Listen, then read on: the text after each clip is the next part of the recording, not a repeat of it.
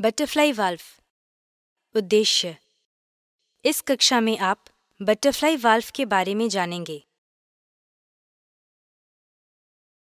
Butterfly valve एक ऐसा उपकरण है जो कि विशेषकर पाइपों के एक भाग से बहाव को एक रोटेटिंग डिस्क द्वारा नियंत्रित करता है।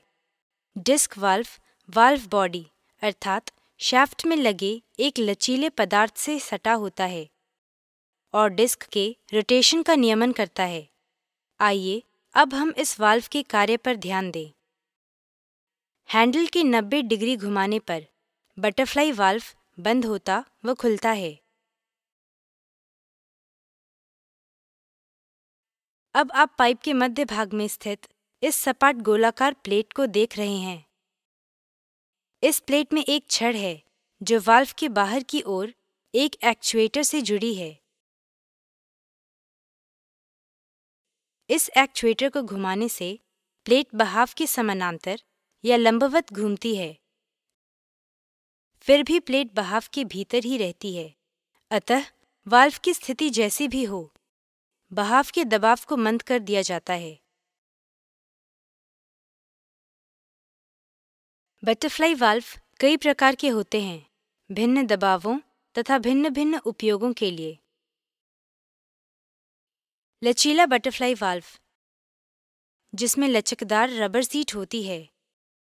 कार्यशील दबाव 16 दशमलव 30 किलोग्राम प्रति सेंटीमीटर स्क्वायर। बढ़िया कार्य क्षमता वाला बटरफ्लाई वाल्व, जो मध्य से कार्य करता है। कार्यशील दबाव इक्यावन किलोग्राम प्रति सेंटीमीटर स्क्वायर तक। त्रिकेंद्रीय बटरफ्लाई वाल्व, जो कि प्रायः धातु सीट के डिज़ाइन का होता है।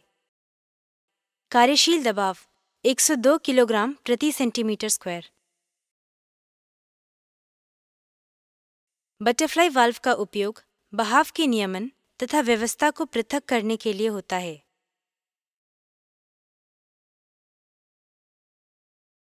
सारांश। अब आपने जान लिया है कि बटरफ्लाई वाल्व प्रवाह को नियंत्रित करने के लिए एक उपकरण है। विशेषतः पाइप के एक भाग में द्रव के प्रवाह के नियमन हेतु प्रयोग होता है। आपने इसकी कार्यप्रणाली, प्रकारों तथा उपयोग के स्थानों के बारे में भी जाना। आशा है, आप बटरफ्लाई वाल्व के उपयोगों को भूलेंगे नहीं। ठीक है ना? धन्यवाद।